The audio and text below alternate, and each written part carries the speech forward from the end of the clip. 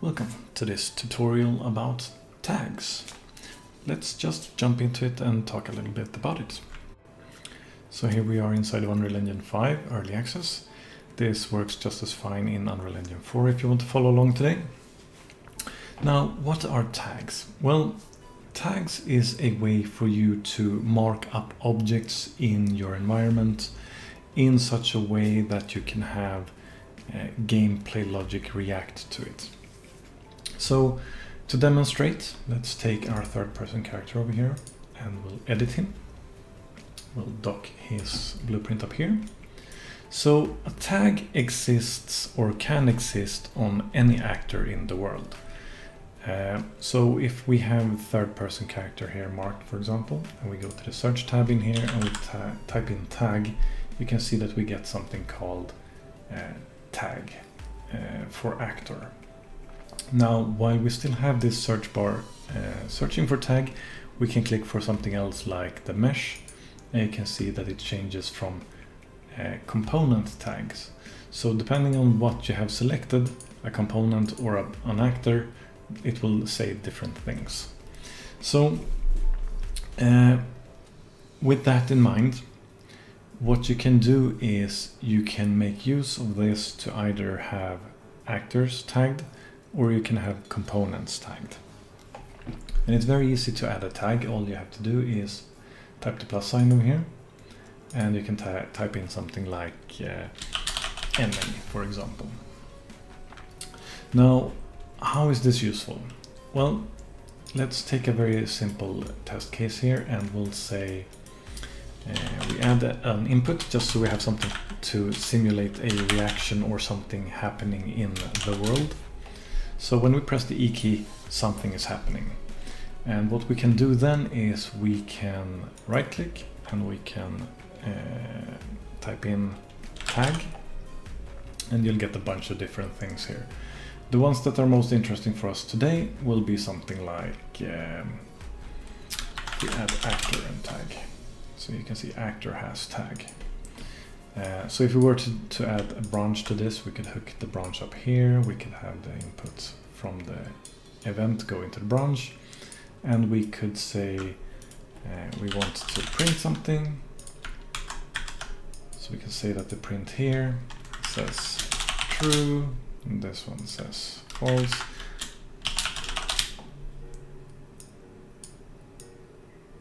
And in here we assign whatever tag we want to check against. So if we type in enemy, for example, and then compile, and then check against this, we make sure that we have the same spelling, and we run. And then I press E, you can see that it says true. If I were to type in something else here, like friend,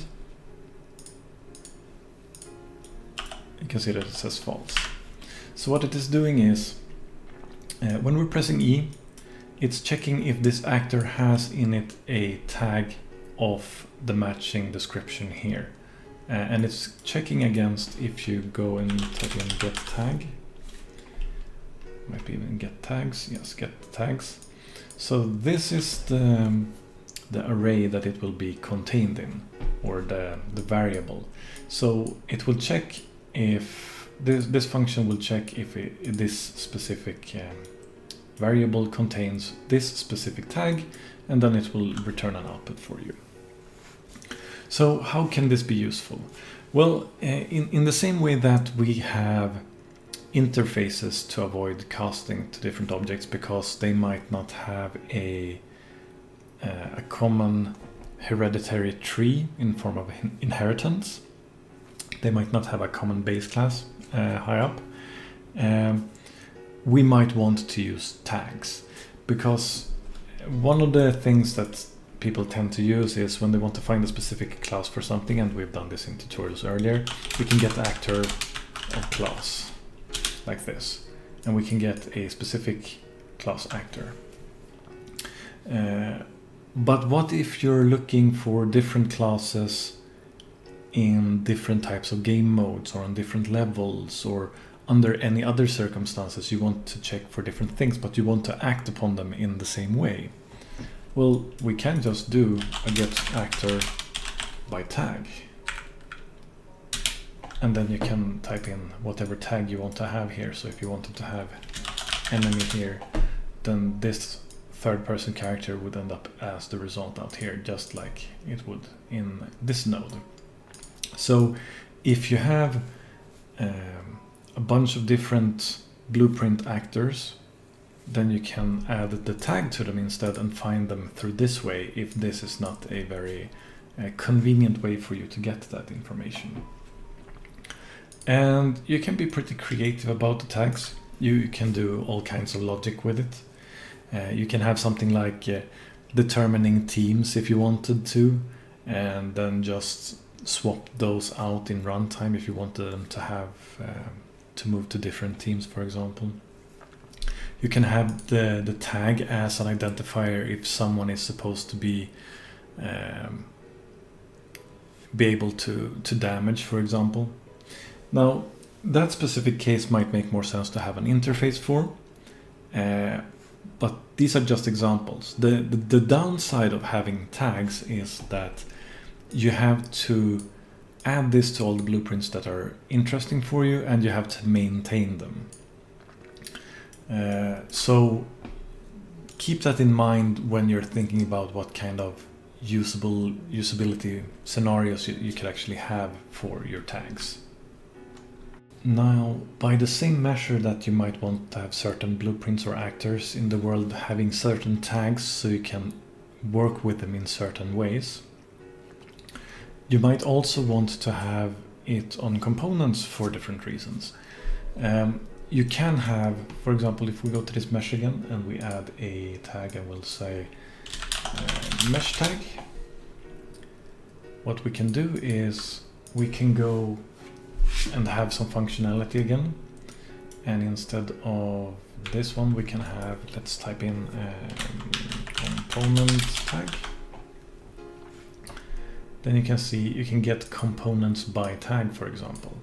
So then you can have, let's say we had five different components inside of here and three of them were interesting to us in some way. Maybe uh, they were certain uh, meshes that we wanted to enable physics on, for example, but two of them we did not want to enable physics simulation. Then we can have the actor here, which is our uh, blueprint as self and we can ask for a component type if we wanted to. Uh, so now it's defaulting to actor component, so uh, anything that's an actor component here would, would fit. And then if we put in um, mesh tag, for example, or not for example, as our example, then this is what it would be looking for. So if we were to add some logic to this, let's just add something simple like a for loop for this and we'll hook up this node here. So when we press E, we're going to go through the loop of all the results over here that are matching this mesh tag. And then we'll just print out a hello for that. We compile and we run. You can see it types out hello every time I press the button. Uh, so if we were to now add this to a camera boom and say that this was also a mesh tag or had a mesh tag for some reason. And now when we play, you can see it will type out hello twice every time because it's finding both of these components in the actor which has this tag. So uh, by using these different uh, nodes, you can actually then uh, find components and actors that are interesting for your logic to act upon in a certain way. And the positive thing about this is that comparisons for tag can be very cheap in performance and also um, that you can have the benefit of having very different objects share tags and then share uh, functionality because of that, uh, similar to interfaces. Uh, I hope that made sense and I hope that that gets your creative juices flowing so that you're thinking about cool ways to make use of this. Uh, yeah. Hopefully found this video helpful. If you liked the video, leave a like. If you did not like it, leave a dislike. Leave any suggestions or comments you have down below. Subscribe and share this video if you want to see more like it in the future. That is all for now. Keep on learning. Take care.